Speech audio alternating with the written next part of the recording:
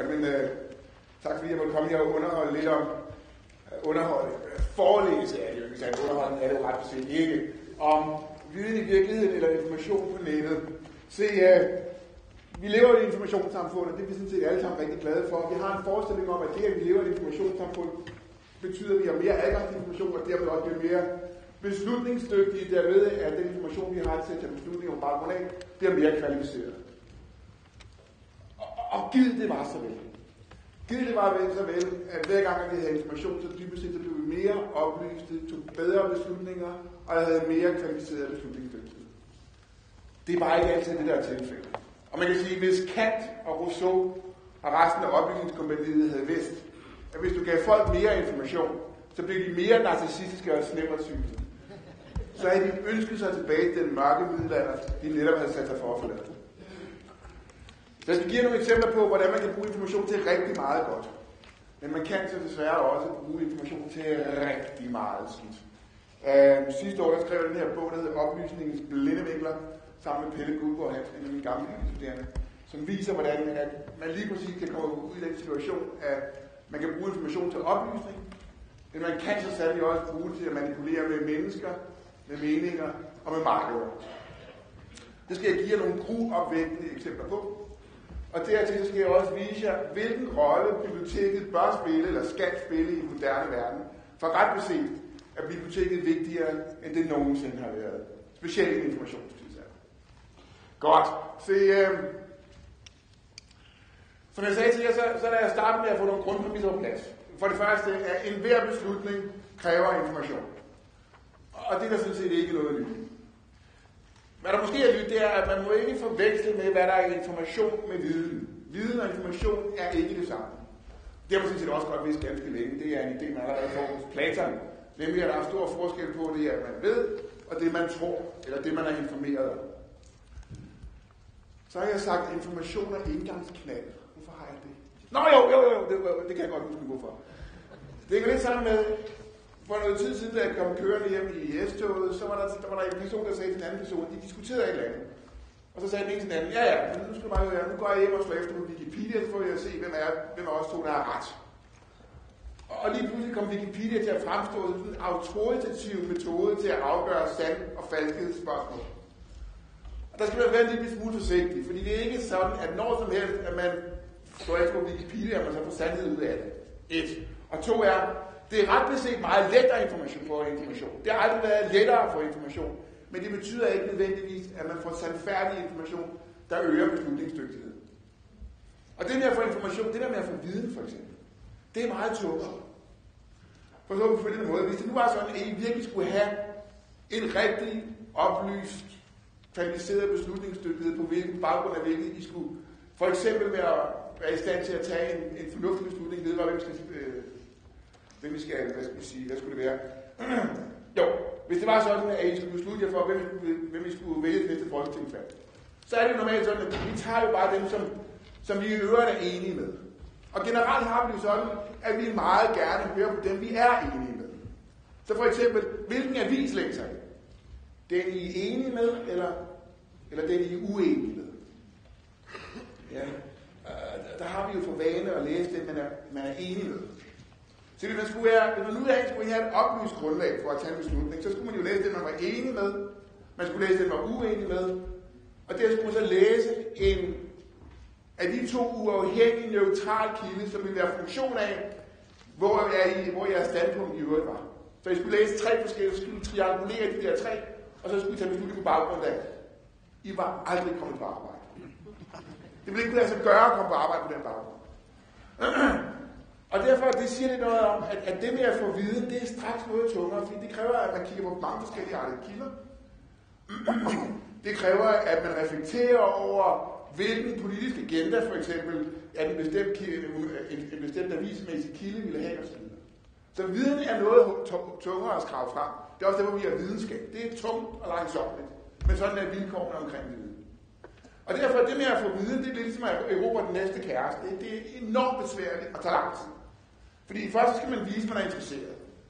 Men man kan heller ikke vise, at man er for interesseret, fordi så, så, så virker det som om, at man er pushy. Så, så man spørger, om man skal ud og drikke kaffe. Og så siger man, det kan blive så næste uge, og så venter man en uges tid der, og så spørger man igen, og så kan det være, at vedkommende siger, ja, det synes jeg, vi skal gøre. Så kommer man ud og drikker kaffe. Når man så derude, så spørger man, skal ikke ud og spise middag? Men lad os lige vente 14 dage med det. Og så kommer man ud og spiser middag. Og efter længere tids kodisering frem og tilbage, to skridt frem og et tilbage osv., så, så kan det være, at vedkommende på et eller andet tidspunkt vil med hjem i kassen og se sandheden. Men, men der er lang, det tager lang tid. Og sådan er det med viden flest, at det tager lang tid at samle op. Så øh, en af pointerne i denne her bog her, det er, at viden, det er, viden er lige med sand information plus proces. Og det interessante er, hvilken slags proces er det, der skal til for at destillere information ud af viden. Ja, det er blandt andet det, som for eksempel bibliotekarer er rigtig gode til. Det er det, som videnskabsfolk er rigtig gode til. Det er det, som alle, der så at sige har et mål med informationsindsamling og håndtering, er rigtig gode til. Og hvordan det skal hænge sammen i mere detaljer, det skal jeg prøve at vise lidt om. Fordi jeg vil godt vise jer nogle eksempler på, hvordan information kan bruges til meget godt, og hvordan information kan bruges til meget skidt. Så ja, det hjælper heller ikke i den moderne tidsalder, at vi har sociale medier. Og hvis man blander det sammen med medierne, så kan man ende ude i det, der hedder en infostorm. Og med en infostorm, der mener jeg betingelser under hvilke at mængden information forvirrer mere end den afklarer beslutningsdygtighed. Og der er de sociale medier til gengæld desværre rigtig gode til at afspore den kvalificerede beslutningsdygtighed. Det skal vi tage eksempler på. Hele bogen er bygget om den her relativt simple matrix. Og grundideen er, at du kan snyde folk, hvis de ikke har information nok. Du kan snyde folk, hvis de har for meget information til rådighed. Du kan snyde folk med mængden, måden hvorpå information, informationen sorteres. Og du kan snyde folk, eller manipulere med folk med mængden, hvorpå informationen præsenteres. Det giver anledning til nogle, nogle, nogle øh, klassiske socialpsykologiske, veldokumenterede fænomener, som går under den fine betegnelser pluralistisk ignorance. Det betyder betingelser under hvilke det er legitimt, at alle forbliver uvidende. Jeg gentager. Betingelser under hvilke det er legitimt, at alle forbliver uvidende. Med andre ord, et rædselsfuldt fænomen. Man kan også lyde folk, hvis der er for meget information til rådighed, så får man det ud af, der hedder informationskaskader. Eller man kan snyde folk med måden, hvorpå informationen præsenteres, det giver rammeeffekter, eller det, der hedder polarisering, altså måden, hvorpå informationen selekteres for folk, der skal tage beslutninger. Jeg når ikke at gå ind på dem alle sammen, men jeg når at gå ind på de der to der, både pluralistisk øh, ignorance og informationskaskader. Og de går begge to på kvantiteten af information, altså at der enten er for meget information til rådighed for beslutning, eller der er for lidt information til. Godt, så lad os lige putte lidt på dem. Det her, det er Fona nede på strøget. Og øh, for et par år siden, der, der går jeg forbi Fona, og så har de sådan en lille bærbar PC med en 12-tommer skærm. Så tænker jeg sådan, sådan en skal jeg have. Øhm, hvilket dybest set er lidt mærkeligt, fordi jeg har sådan to-tre af dem i forvejen, så hvorfor skulle jeg egentlig have den fjerde? Men, men hytten må blive som I godt ved, når man går ind og, øh, og kigger på ny computer, så er der sådan en spiseseddel, der siger noget om, øh, hvad computeren kan. Så hvor høj er klokkeprocenten inde i processoren, hvilken slags, hvor meget hukommelse er der i den, hvilken grafikkort er der, hvor hurtigt er netværket osv. osv. Så nu er jeg jo nærmest uddannet i teoretisk datalogi, så for mig er det interessant at få at vide også, at ikke nok med, at det skal, at det skal være sådan, at, computer, at computeren er meget hurtig internt i processoren. Det vil sige, at vi kan lave mange beregninger meget, meget hurtigt men også at hastigheden ude på bussen, som det hedder, eller ude på bordet, altså der, hvor øh, dataen bliver transmitteret rundt omkring andre steder til computeren, den, også, den skal være tilsvarende høj, fordi ellers svarer det lidt til at køre Ferrari Testarossa i første gear med håndbremsen trukket. I får en flaskehals. Så derfor så går jeg ind til den der lille Philip satan mellem 18 og 22, altså ekspedienten, så spørger jeg ham, undskyld, kan du ikke fortælle mig, hvad klokfrekvensen er på bordet? Og så siger han til mig, det ved jeg da virkelig ikke. Så siger jeg til ham, nu hvor du sælger produktet, så vil det være meget godt at vide, eller hvad? Og så siger han til mig følgende, hør her, jeg tror ikke, du kan finde en af mine kollegaer her i butikken, der ved det.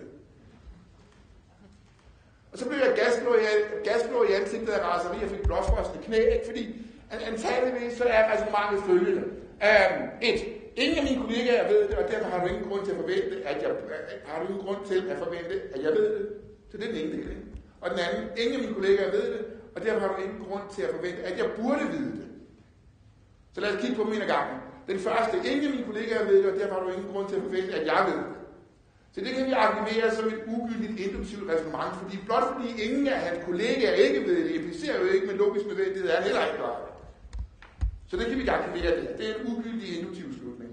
Den anden er mere interessant, fordi den siger, ingen af mine kollegaer ved det, og derfor har du ingen grund til at forvente, at jeg burde vide det. Med andre ord, det er legitimt for mig at være uvidende, fordi det er alle mine kollegaer også.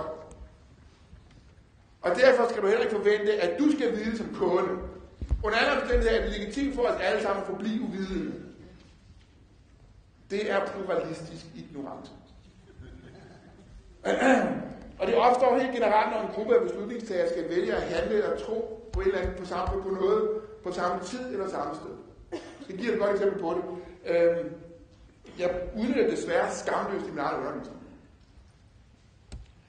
Fordi øh, jeg starter med 60 og 80 studerende om året i logik. Så giver jeg dem typisk en opgave for at hjælpe på et eller andet tidspunkt. Og når den dag rinder, hvor de så skal, egentlig skal, hvor de skal gennemgå den pågældende opgave, så nogle gange så vil jeg egentlig godt have, at vi diskuterer opgaven, og nogle gange vil jeg bare egentlig gerne videre i dagens tekst. Hvis jeg nu bare gerne vil videre i dagens tekst, og ikke har lyst til at få svar fra mine studerende, så spørger jeg dem på en bestemt måde, som ikke animerer dem til at give svar. Så siger jeg til mine studerende, hvad synes I, der var svært ved gårdsdagens lektie?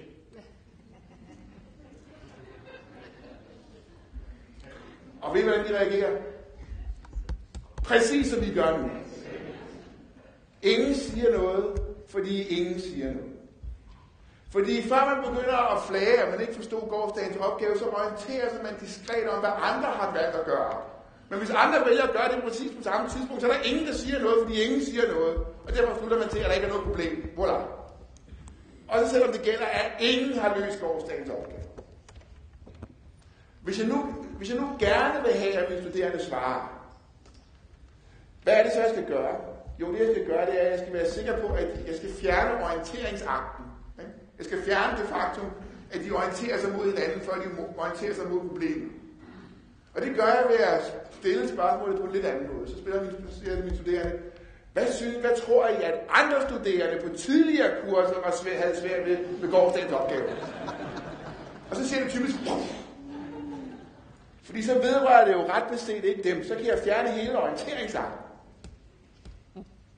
Og det betyder altså, at det er en relativt skrøbelig tilstand, fordi lige så snart, at vi ikke længere skal orientere os mod andre, så skaber det den, så, så har vi den, den situation i hvilket, at vi faktisk taget gerne vil vise vores videnhed fra tid til anden.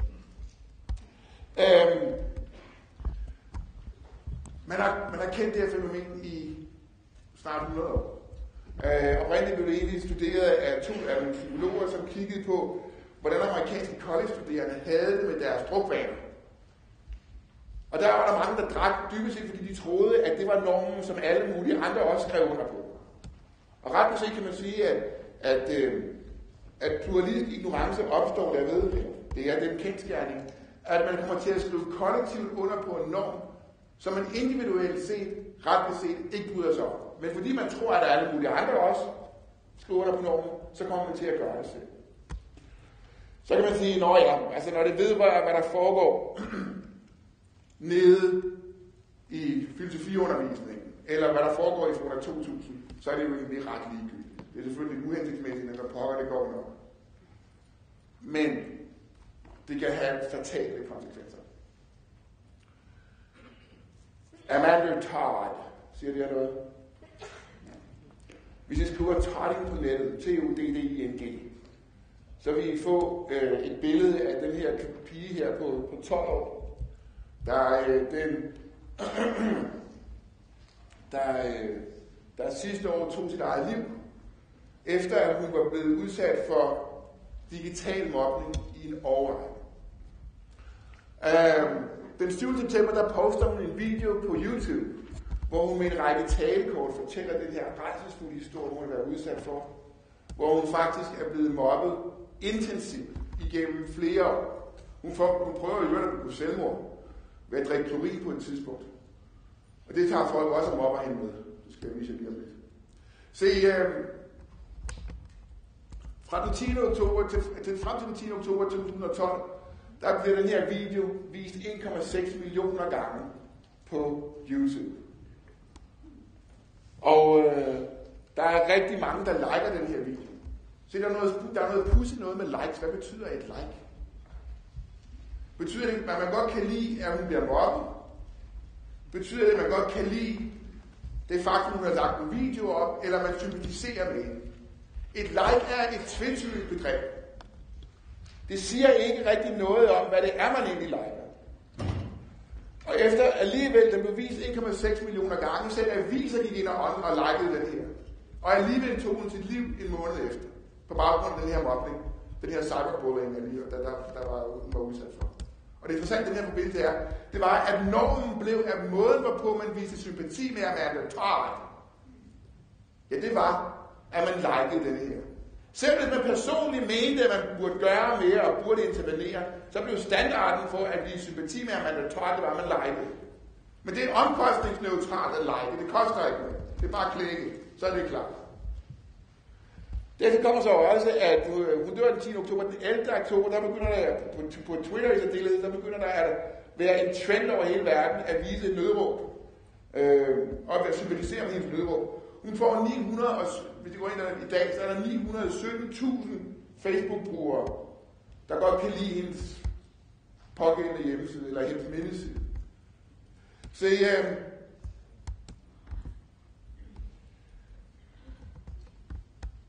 Normalt vil man jo sige, at hvis folk de bliver mobbet, eller på anden måde chikaneret, så skal man intervenere.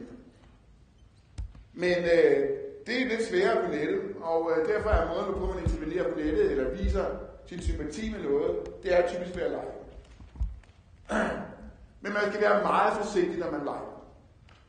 Eller man skal være relativt forsigtig, fordi det, der vil komme til, det er, at den her måde at lege på, bliver dybest set bare en omkostningsneutral måde for en at vise sympati, dog uden at det koster en noget og værre endnu måske.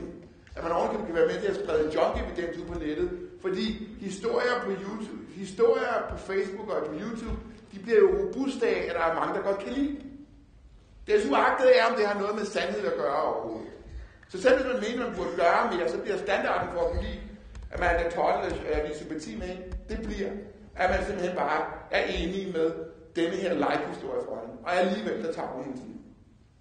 Så det er et eksempel på, at pluralistisk ignorance, altså man kommer til at skrive under på en norm, om at synes, det er synd for Amanda Todd, men det koster ikke noget, har den kedelige konsekvens, af, at Amanda Todd føler sig fuldstændig alene i verden, og tager sit liv, fordi der er ingen, der intervenerer, selv når hun råber med sit nødråb, der bliver vist 1,6 millioner gange på de sociale medier. Prøv lige at se hernede. Her er... Øh, altså, der er en lille tillægshistorie, der står Bleach Martini YOLO Bitch.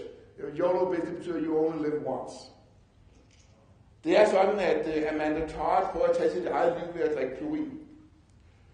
Og det får de også morskab ud på nettet af, fordi det bliver faktisk offentliggjort på Facebook, at man prøver at tage sit eget liv.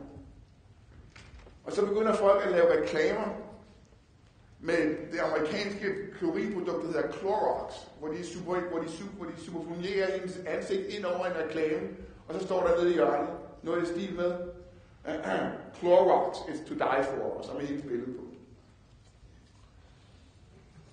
Der er så en af dem der på hendes, på hendes memorial side, der skriver, Rest in peace Amanda Todd, I hope they sell Clorox in hell. Det er jo vanvittigt modbydeligt. Ja. Og det er, det er de sociale medier. Gedine slags. Godt. Øhm, så det var en trist historie. Nu skal jeg give jer en, der er lidt morsommere. Men den er lidt morsommere historie, den hider jeg, hvis du prøver at snyde folk med for meget information. Jeg ved ikke, hvor mange af jer, der i 2007 så den film, der hed Sex and the City. Det er heller ikke så vigtigt. Men hvad der er væsentligt, det er, at hende, der er hovedrollenhaveren her, hun hedder Sarah Jessica Parker. I spiller, spiller hun en rolle, der hedder Carrie Bradshaw. Og efter filmen har premiere, der bliver det jo en landeplage verden over. Så alle vil jo have alt, hvad der hidrører den pågældende film, fra soundtracket til teleslønnen, til kummefryseren, til kagerne, hvad man nu ellers skal få. Og en af de ting, der gør sig gældende i den pågældende film, det er, at hun læser en bog, der hedder Love Letters of Great Men. Man kan se, hun ligger i sin seng og læser bogen. Man kan se ryggen på den pågældende bog, der hedder Love Letters of Great Men. Så umiddelbart efter, at filmen har premiere, vil folk jo også have Love Letters of Great Men. I 2007 findes der imidlertid ikke en bog, der hedder Love Letters of Great Men. Men folk de går på Amazon for at finde den, og hvad de finder, det er en bog, der hedder Love Letters of Great Men and Women. På det tidspunkt en relativt kedelig gul forside, og en bog, der ikke bliver solgt overhovedet på Amazon.com. Men øh, Love Letters of Great Men og Love Letters of Great Men and Women, det lyder relativt ens, så må ikke det, det hun læser, så folk begynder at købe Love Letters of Great Men and Women. Og den her pågældende bog begynder at kravle lige så stille op af, af listen. Og det fanger Amazon det her. Så det, Amazon, det som Amazon de gør, det er, at de laver, en, de laver et link mellem Love Letters of Great Men and Women og soundtracket og alle de andre memorabilia, man i øvrigt kan købe fra filmen. Så begynder den virkelig at kravle op og listen. Og efter en måneds tid er der tre små forlag, der tænker, hvad er det for en bog, som folk de køber? Hvad, hvad er det for en bog? Og de finder ud af, at Loveless and Great Men and Women er en afhandling fra 1924. Skrevet af en relativt ukendt forfatter, der hedder C.H. Charles. Han er død for længst, og øh, det er copyrighten også. Den er udløbet. Så øh, det, som de tre små forlæg gør, det er, at de, øh, de, får, de, de udgiver dem igen med nogle lidt mere sexede forsider. Og eftersom at øh, den pågældende, bog, den pågældende forfatter jo for længst er død, og inklusive hans øh, copyright er gået med i kassen, så kan man jo kalde bogen, når man vil. Så man kalder den for Love Letters of Great Men. Og så sælger man den. Og den her bog, den når nummer 134 på Amazon.coms all-time bestsellerliste. Og du præsterer faktisk at sælge for et produkt, der ikke findes. Skal vi give dem om? Det er godt tænkt. Sig mig, hvad er det, hvad er det nu engang, som Amazon de gør? Jo, strukturen og problemet er noget lidt andet. Det er sådan, at Amazon ved jo godt, at den her bog ikke findes. Men det er ligegyldigt. Fordi så længe så længe du er i stand til at få fat i de første beslutningstager i en sekvens, så løber resten med som lemminger. Det er det, man kalder for en lemming-effekt. Og det, som Amazon godt ved, det er, at når du har en mængde beslutningstager, og de skal tage beslutninger på baggrund af, hvad dem foran har gjort. Hvis de har valgt at gå til højre, så skal du være relativt forvisset om, at så gør den næste det også, og den næste, og den næste, og den næste. Og på den tidspunkt, så når han et tipping point, hvor alle går den samme vej. Det er uagtet, at det måske ikke nødvendigvis den bedste vej at gå, eller den bedste måde at løse problemet på. Men man kan få folk til at gå som lemminger, hvis man kan få fat i en tilstrækkelig stor del af de første beslutningstager i en sekvens, så går resten ned. Kender I godt det selv, når man, når man skal, når man kommer ud fra et fly i lufthavnen, ved man gå til venstre eller til højre. Og det er ikke rigtig klart afmærket, så tænker man, hvad skal jeg gøre? Så, når jeg ser på, hvad de andre har gjort, så gør man det. Okay, det kender man godt, ikke? Altså, den er, den er relativt oplagt, og man gør det tit og ofte selv. Se, øh, en ting, der er interessant i den her forbindelse, det er, at øh, det er lidt ligesom domino De falder på samme måde. Men det er egentlig dybest set med en lidt anden mekanik, fordi mekanikken er det her, at man egentlig får folk til at tage beslutninger på baggrund af, hvad andre, andre beslutninger, på baggrund af, hvad andre folk har valgt at tage som beslutninger. Og man bruger det, man kalder social proof, altså folks tidligere beslutninger, eller andre folks beslutninger, som grundlag for ens egen beslutning. Uh, jeg har oplevet, at jeg har et job i New York over tiden, og, tit og ofte så, tager, så flyver jeg mellem København og New York. Og uh, vi er efterhånden blevet vores egne rejsebureau. Altså, men, øh, vi beslutter, vi, vi, vi, vi lager selv på og køber vores billet. og så printer vi selv billetten ud. Og så følger vi dybest set, hvordan man gør det derfra fra. Se, øh, i New York, John F. Kennedy Airport er det sådan, der er mange terminaler, men øh, Delta Terminal 2 er den største. Og Delta og Air France bliver indgået i samarbejde, således at Delta flyver mellem Charles de Gaulle og New York, men det er Air France nummer. Nu bliver spørgsmålet, skal jeg så i Terminal 1, hvor Air France flyver, eller i Delta, hvor, eller i Terminal 2, hvor Delta flyver? På mit eget papir derhjemme, der stod der klart afmærket Terminal 1. Jeg tænkte, ah, det kan de jeg ikke helt vide. Nu har også printet billetten i København, hvor skulle de vide det fra? Og man kan jo komme med alle mulige historier, ikke? dem kender man jo godt selv. Øhm, så jeg tænkte, jeg skal, nu spørger jeg dem i lufthavnstoget. Og alle dem i lufthavnstoget, de var jo amerikanere, de var amerikanere, og, og, og de tænkte, nå jamen altså, det mener, Delta, det er verdens største opulente amerikanske flyselskab, så selvfølgelig skal du over i Terminal 2. Jeg tænkte, nej, selvfølgelig skal det. Så tager jeg over i Terminal 2. Men da jeg går over i Terminal 2, er der jo ikke et Air i en Delta-terminal. Og der står du mig lige pludselig. Du er blevet udsat for en informationskaskade. Det, der er sket, kære professor Hendricks, det er, at du i iver for at få det, til, for det hele til at være korrekt, så har du simpelthen gjort det ukorrekt. Derved, at du havde jo ret beset korrekt information med henvisning til det hjemmeprintede billet, hvor der stod Terminal 1. Men den endegyldige, sandfærdige information, der står der, den vælger du at underkende, blot fordi, at du gerne være på linje med alle de andre mennesker i lufthavnstog. Så derfor tager du over i Terminal 2, selvom det er forkert. Og det sker relativt ofte for os, nemlig det her, at øh, vi vælger at følge med, fordi det gør alle andre også. Og vi vælger at underkende egen sandfærdig information, fordi det gør alle andre også. Se, øh, her er et sjovt eksempel. Det, det går sådan set ikke godt, det går ikke kun på lufthavnstog og alt muligt andet. Eller på salg af bøger, det går også på aktiemarkedet. Jeg skrev sidste år en bog, der hed Nedtur Finanskrisen, forstået filosofisk. Og der viste at de her lemming-effekter er rigtig gode til at bygge bobler på aktiemarkedet. Det her er et sjovt eksempel. Um, prøv at se, jeg har en lille figur her, der han skriver, han siger, I got stock here that could really excel. Og så siger han den næste, really excel, excel, sell, sell, sell, sell, så begynder alle så at sælge. Ikke? Og så fortsætter vi med. sell, sell, sell, sell, sell. Så siger han hernede, this is madness, I can't take it anymore. Goodbye, bye, bye, bye, bye, bye. Det morsomme er så, det er ham den lille mand der nede i hjørnet, der siger, I really got stuck here, og så kan det køre igen, ikke? Denne her måde at agere på, på hvilket at vi følger, hvad andre hvad der, der gør, kan være, kan være med til at sætte historier i vand, som overhovedet ikke er så færdige, men de virker. Øhm, sådan er boligbobler i Danmark også genereret i vid udstrækning. Nemlig, øh, nemlig derved, at alle siger, at det kun gik gå en vej, og så gik det kun en vej, indtil det så overhovedet ikke gik.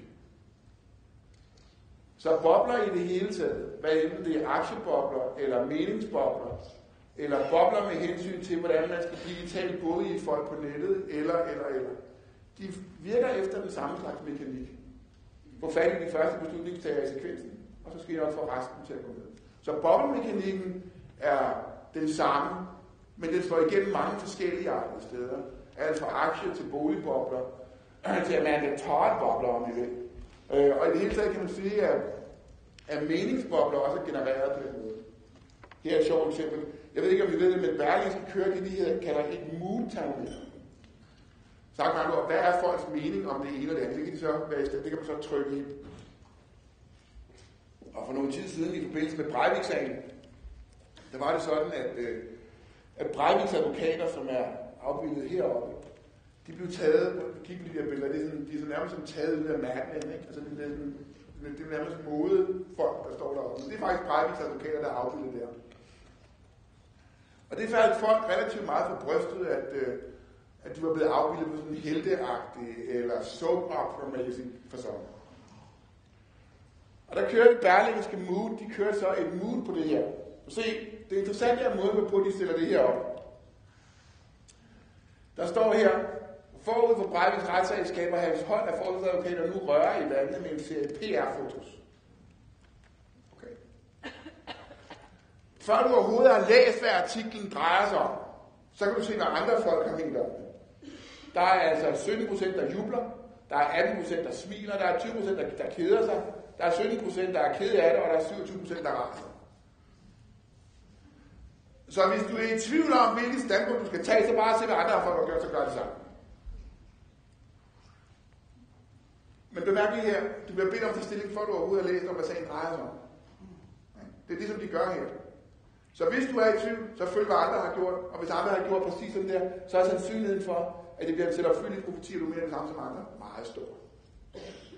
Og i det hele taget, der har Berlingske, og det er der andre, det er Berlingske jeg synes ikke, de eneste, øh, der har gjort sig i de her moodbarometer. Så her er, medierne falder i svime over første dagen, det mener 97 procent, de jubler. Ekstrabladet fjerner journalist fra borgen, 74 procent der jubler, og så kører de andre hernede. Øh, privathospitaler skal betale for egen fejl, 71 procent der jubler. Nej, nej, nej, nej, nej. Prøv lige at kigge på alle dem her. De er bygget op på nøjagtig samme måde.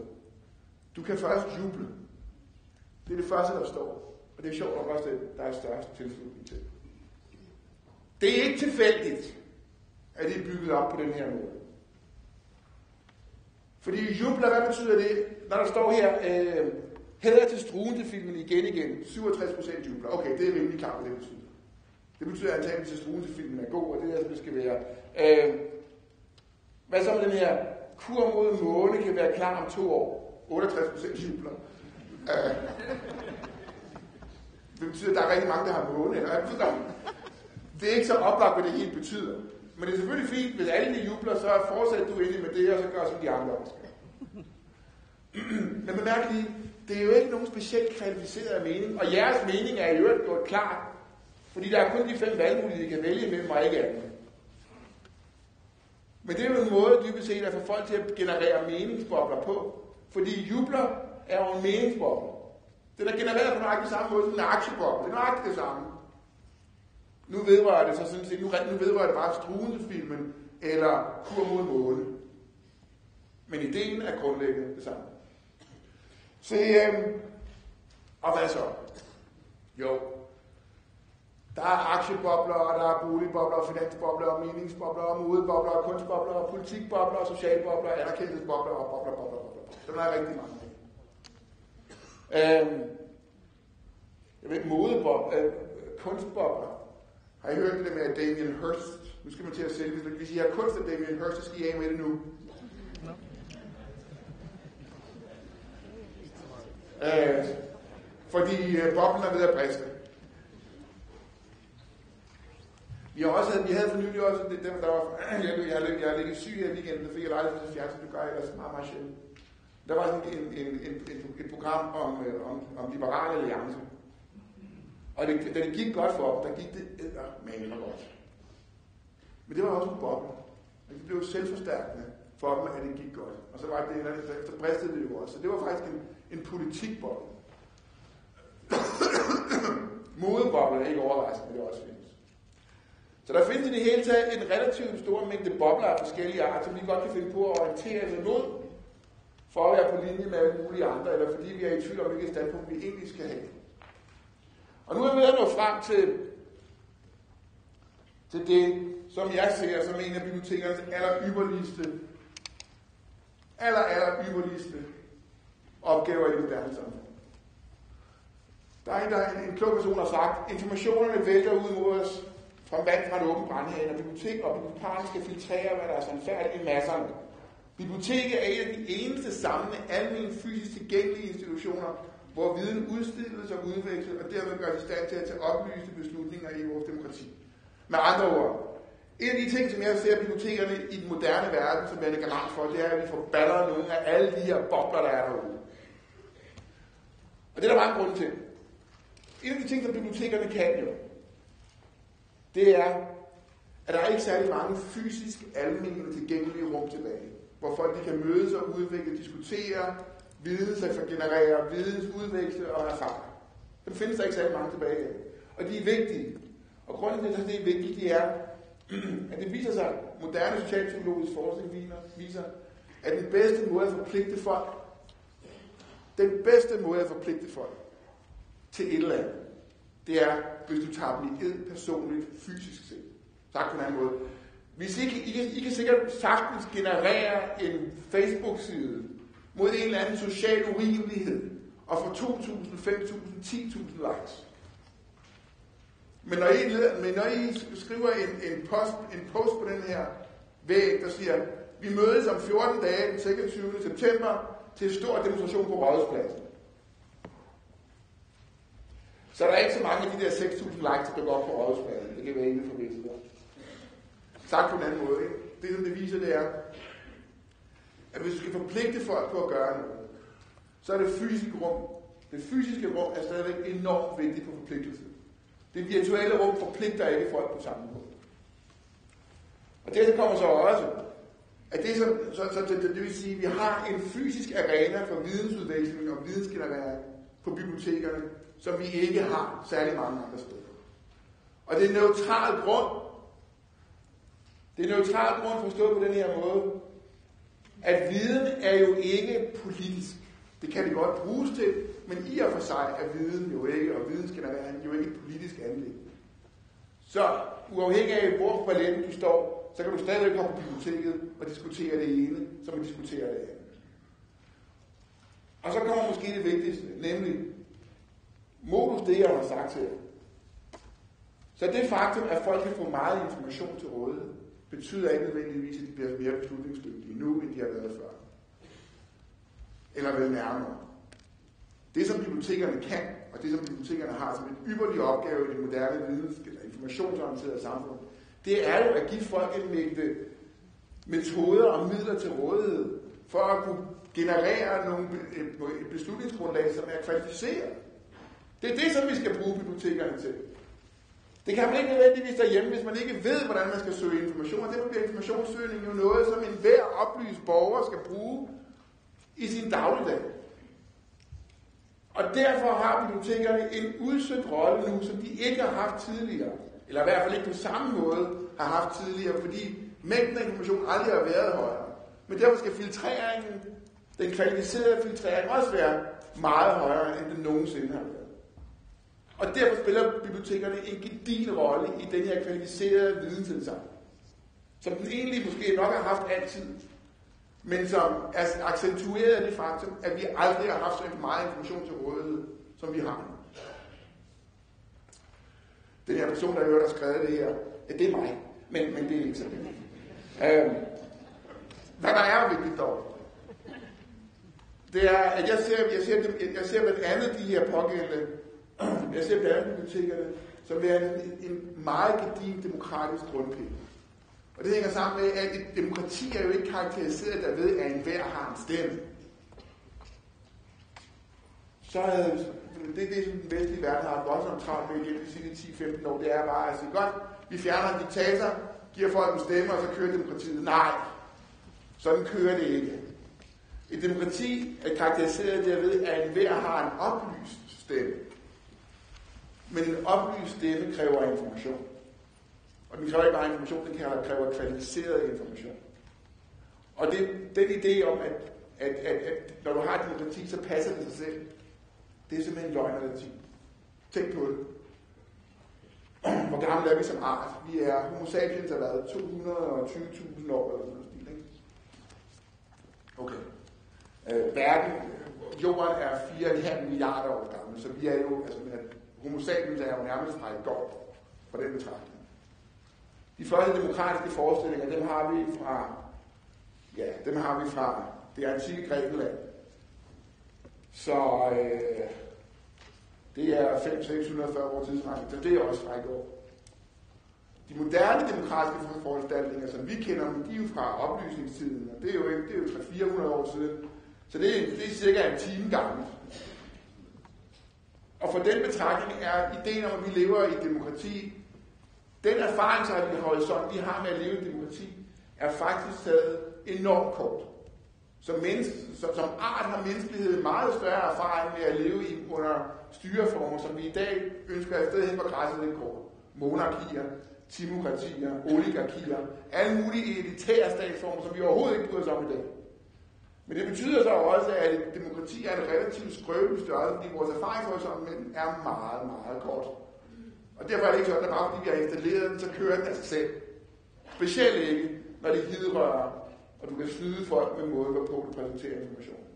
Og for den betragtning, så spiller bibliotekerne en rolle i dag, som den aldrig har spillet før. Og med de ord, der tror jeg, at vil følge Forrest Gump at sige, that's all I have to say about that.